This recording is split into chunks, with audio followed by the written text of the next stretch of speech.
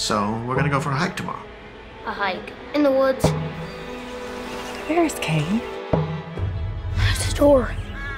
It's a really cool door. Cool. It's just waiting for us. I can't sleep. I'm having bad dreams. But I want it gone. It's not coming out. Won't budge. Can you take a look at this? What do you know about that door? Everything. You let it loose. Kane! He's gone! I know what happened to Kane. I will do anything to get him back home safe. This, the spirits will be angry.